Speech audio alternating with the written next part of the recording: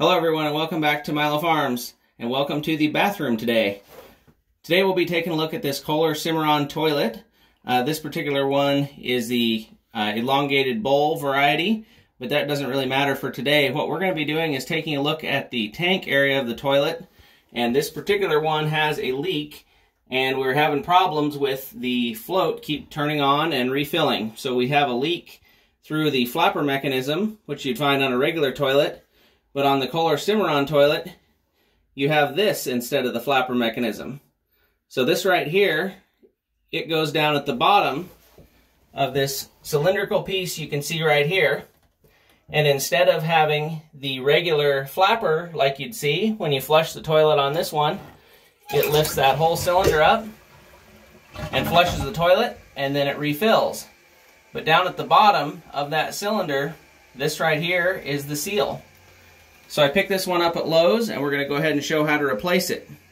The reason that we've had to replace this seal, even though this toilet isn't that old, is we always like to use these bleach uh, tabs in the toilet. They go in the tank and they help keep it cleaner and sanitary.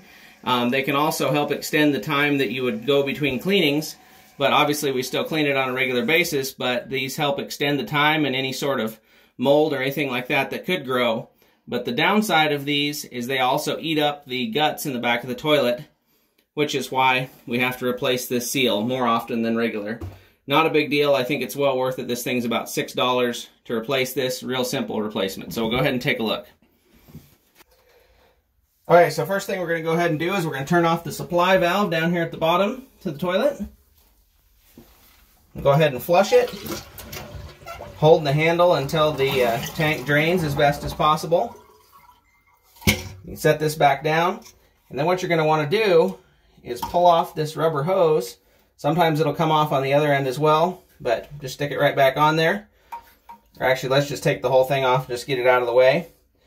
Then you have this yellow piece right here. You twist that to the left, counterclockwise.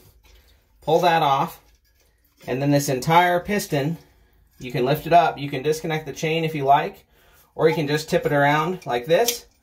You can see that rubber right there is just shot. It's all sorts of rotten. So we're gonna have to fight this thing off of here, which just looks like it's rotten and just gonna come off in pieces. So we got the thing off. It obviously broke into pieces. It's just old and rotten.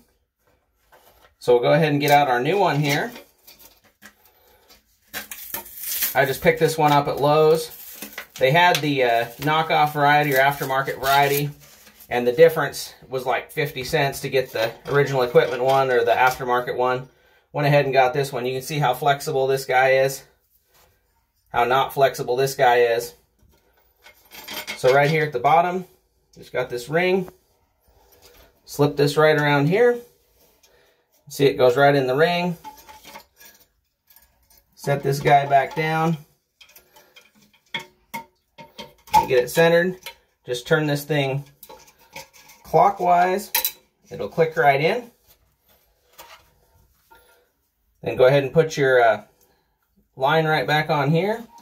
This line is what helps fill the bowl with water to keep the trap primed um, after you flushed.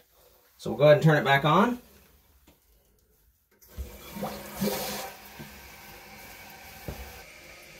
While we're waiting for this thing to fill up, you can see on the side here you've got the water line as to where the elevation is supposed to be set. So when it fills up, you can check this adjustment right here. Make sure your tank is filling to the appropriate level. And it looks like we are twisted just a little bit on this cylinder. So as soon as we flush it the first time, the cylinder will drop into place and be facing the right direction. And we should be good to go.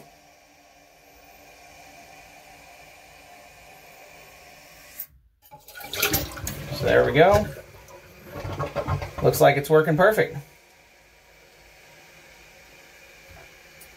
So looks like we'll be pooping with success here at Milo Farms. So hope everybody enjoyed the video.